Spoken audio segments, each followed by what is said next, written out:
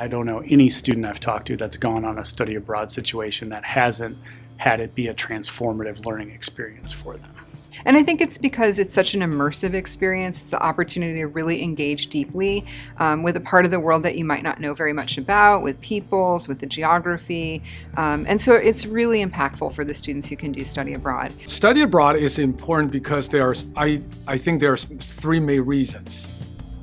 Reason one is help students to develop their academic and personal horizons.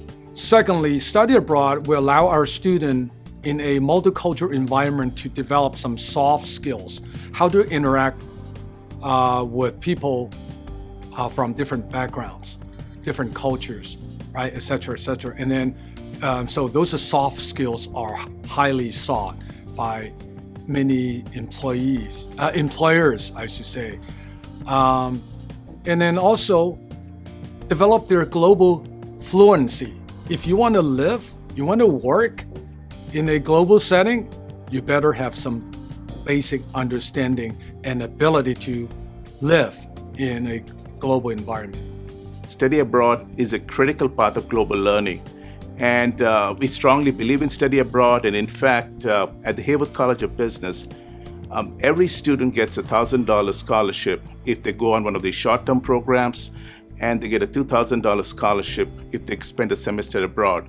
And that kind of indicates the commitment we have for study abroad and why we feel study abroad is so critical in uh, a business Broncos experience at the Haworth College of Business. Study abroad I see as a, a component of global learning. Um, usually one experience uh, could be you know, a, a week, it could be uh, as, as much as a, a year studying abroad.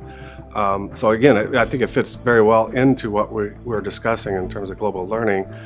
But um, while it's very important, and I think you can focus on one country or one culture or one, even one discipline within, say, engineering, um, I, I, think it's it's still just one component of many in terms of global learning within our campus.